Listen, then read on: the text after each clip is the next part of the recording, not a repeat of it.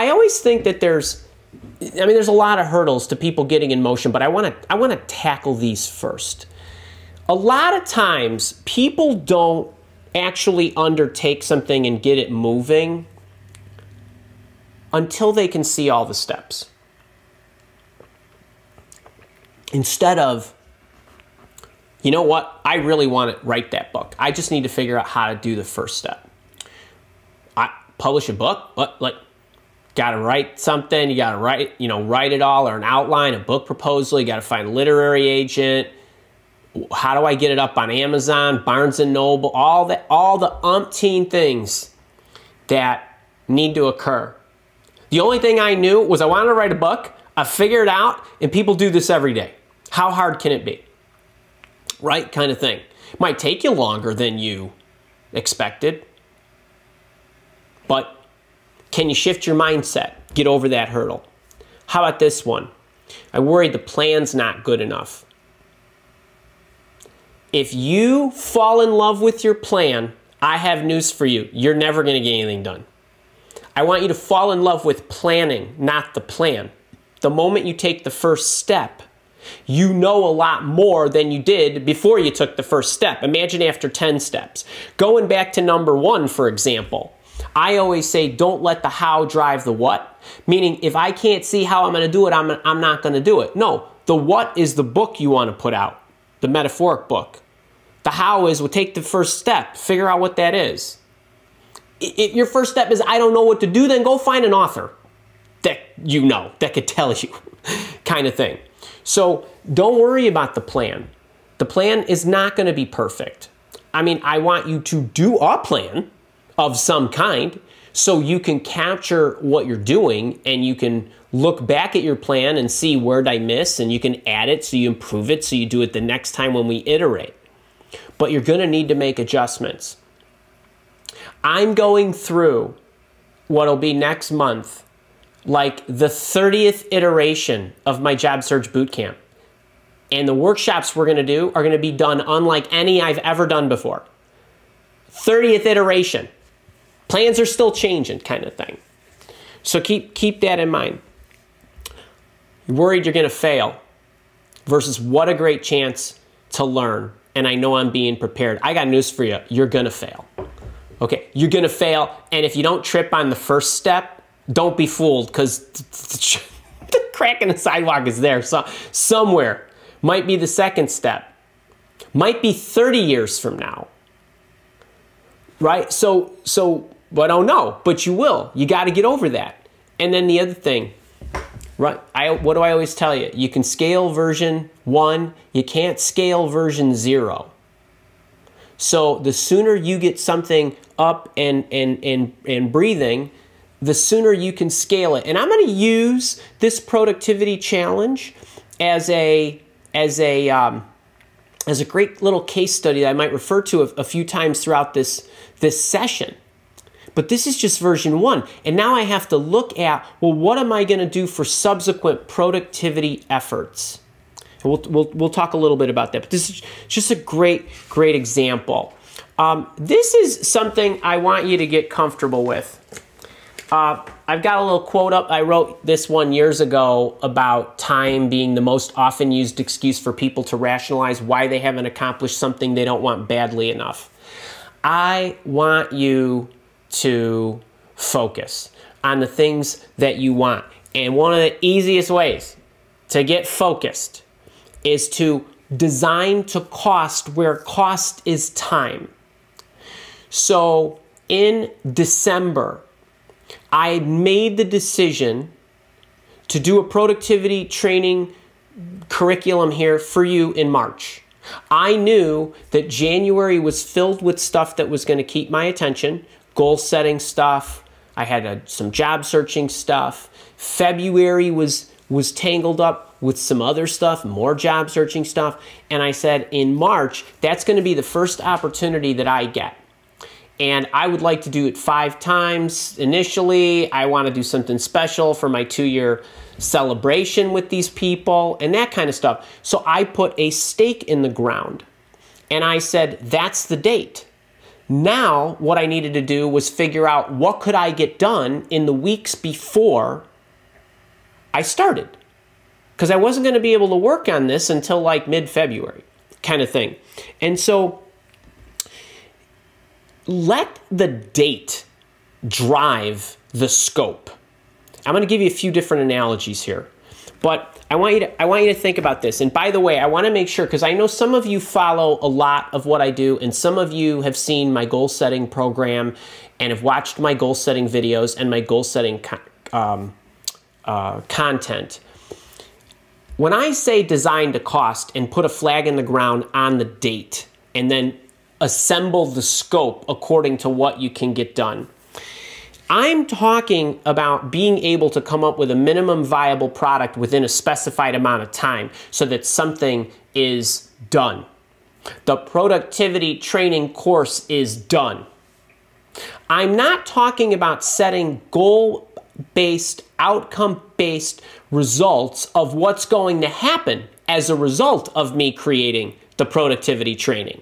So, for example, I might have a goal that says how many people are going to register for this or how many people are going to enroll in my leadership program. I didn't have that goal. Actually, I won't set that goal because I don't know anything about how anybody's going to react to productivity training because it's the first time I'm doing it. On April 10th, or more likely April 12th, I'll say to Kara, What happened?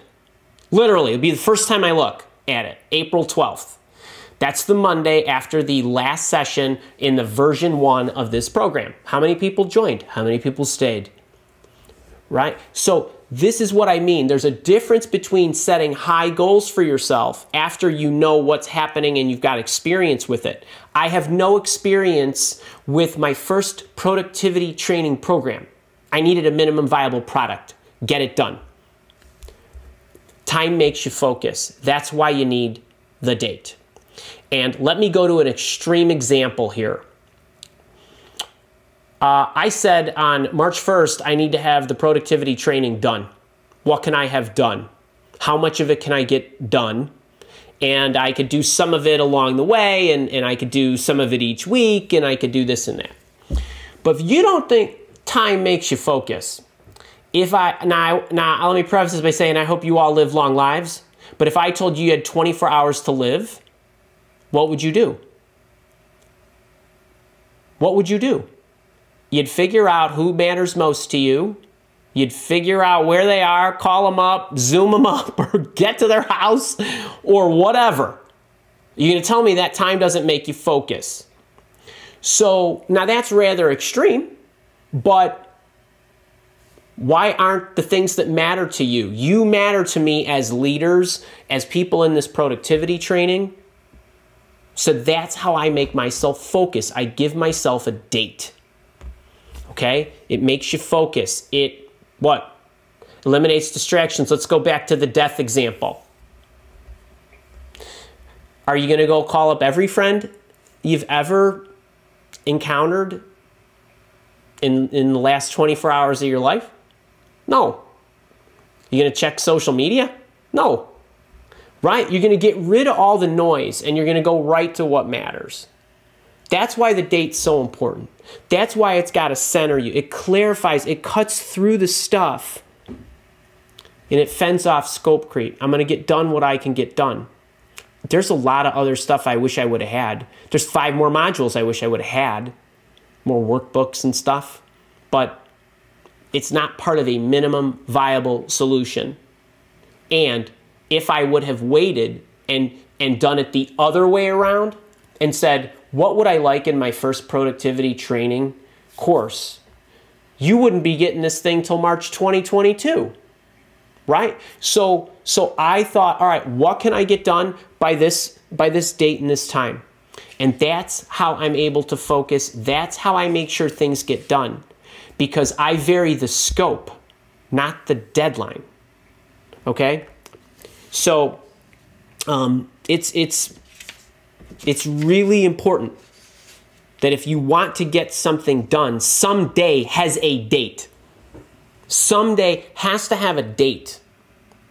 Don't ever say someday to me. Right? If when you're talking about something that really matters to you. So you got to put a, a stake in the ground, even if it's loose. All right, so here's what I want you to write on your planner.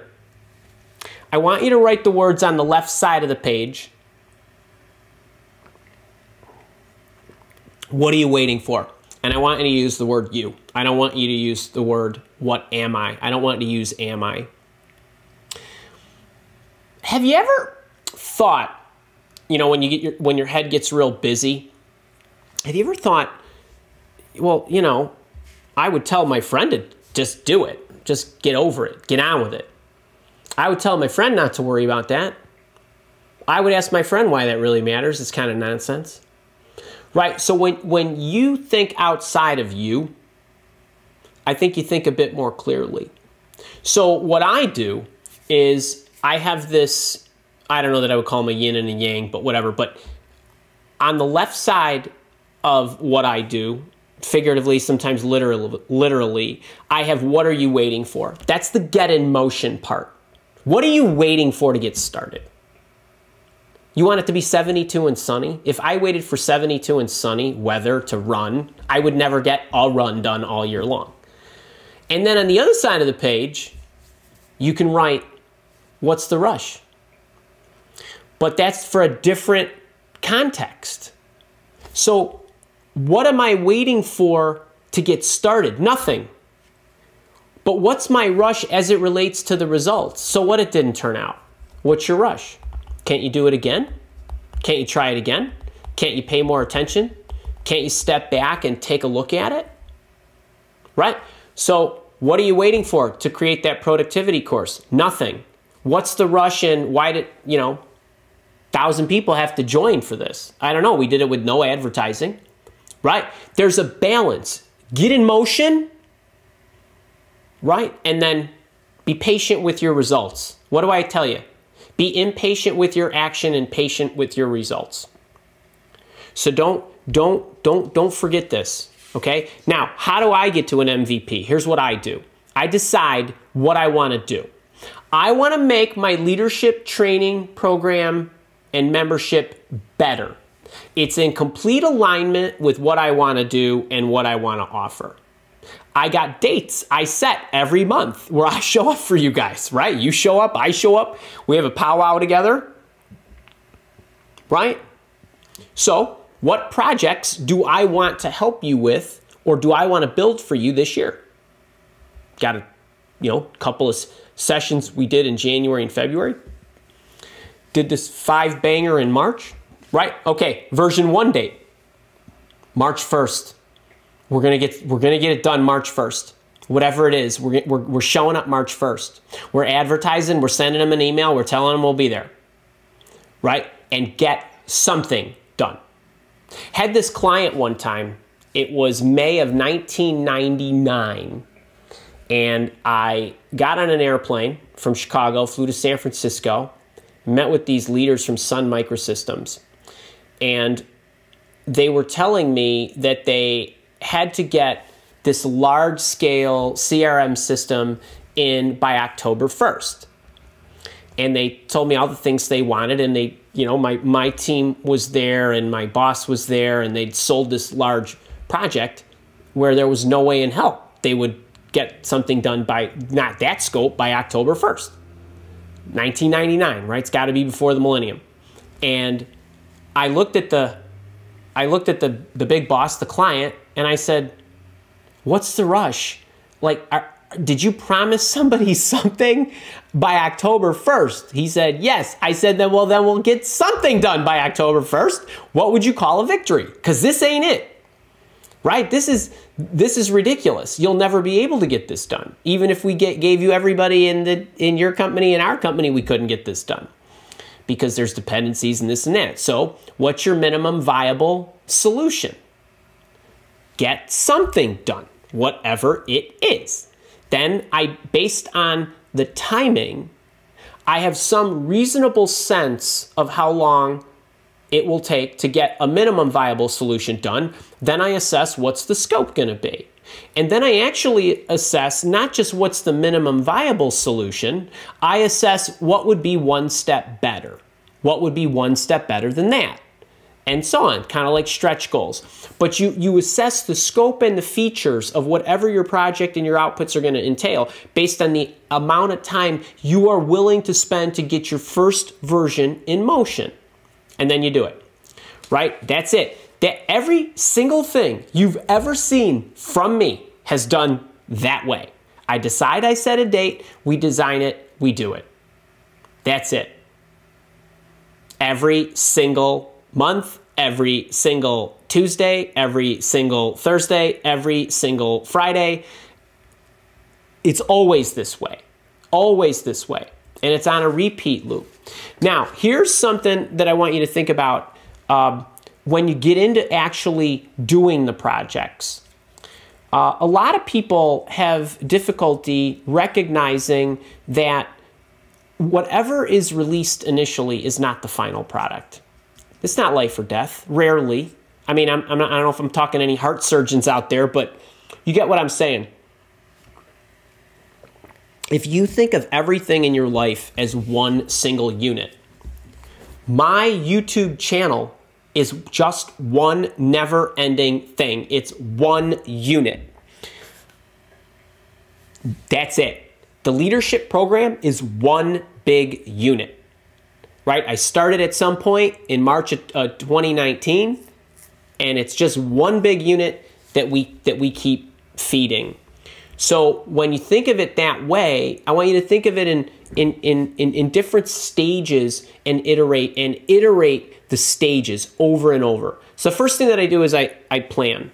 So I figure out what's a minimum viable solution, what's version one gonna look like. Productivity training, let's give them five, five sessions. What would I want those five sessions to be? And so on. And I think about um, when I look at uh, large scale projects that I do. So let's humor the project managers here for a second. On the one hand, I would tell you that if I was teaching a project management class, I would tell you that the, the more complicated the project was, the, the larger the inventory of activities that need to occur. When you're planning it initially and you have a thousand steps, if you miss a step and you allocate zero amount of time to getting the step done, that's where the damage is done. That's where delays occur because you didn't account for the activity and you didn't allocate any time in your time frame to do that. Okay?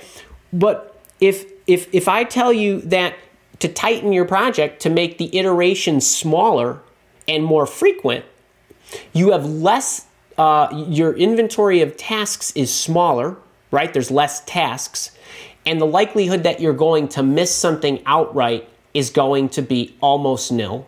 And if you do miss something that you need to do in your plan, your ability to recover will probably be as simple as just working a couple extra hours to make it happen.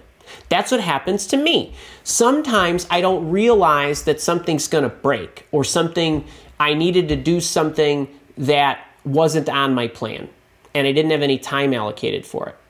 But if you got a pretty decent plan, and your time frame is reasonable enough, meaning short enough, you're not going to be crucified when you miss something. The larger the plan, the greater the test. If you miss those and have no time allocated, that's where that's where you're going to get hurt. That's where you're going to blow your your time budgets, so to speak. So I'm not I'm not really talking about that. I'm talking about higher velocity pro projects here. Follow me? Okay. Then you act, so you do it. This is what are the actions that I need to take to get version one done the quickest. That's it. I mean, when I talk about the activities, yes, the airplane needs to go through all of its checks. All the wires need to be connected. Everything needs to be verified. Everything needs to be certified. All that good stuff. For most of us, this is about bite sized, personalized, or small ish work related problems. So get in motion, get to the to the uh, v1.0 first, and then collect some data. Now the problem is with version one, you're going to have too many variables, and I'm going to talk in a, in a few slides or a slide or two about the type of data that I collect and that I want you to collect. But the point is, if you're going to go to the trouble to actually act, Then you need to go through the trouble if you want to make it better to capture the data because you're going to have to go through a number of iterations because there's likely going to be several variables that you couldn't control all at once. And we'll get specific here in a minute. But you've got to be able to collect the data in order to make an evaluation, which is the next thing that you're going to do. And then there's certain things that you need to pay attention to. What's happening? Right? So when I said on April 12th, for those of you that are here with me live, right, I'll look and I'll evaluate. We'll see how many people signed up. When did they sign up? Did the ones who sign up like it enough that they stayed for another month in the program? Right? We'll look through all of that. Then we can make an evaluation. Right? So it's that kind of it's this kind of never-ending loop that you want to iterate through. Plan it, do the action, Make sure you're collecting the data. A lot of people don't actually collect the data and they go by feel. That's a big mistake. You have to have the details. Because as you iterate through things, you want to have less change in the future iterations so that you can make sure that your variables are, are, are constant enough for you to know if you switch something, if you improve something, if you add something or take something away, that you know that actually made the difference. You change three variables, four variables, any of them could have contributed to this. So I want you to I want you to think about I want you to think about this kind of stuff. How will I iterate this project? Well, what are I could add more sessions. I could talk to you about how to build self discipline. Or I could take each one of the five sessions and take it to a deeper level, right? And take it, take it down a notch. We could add more case studies.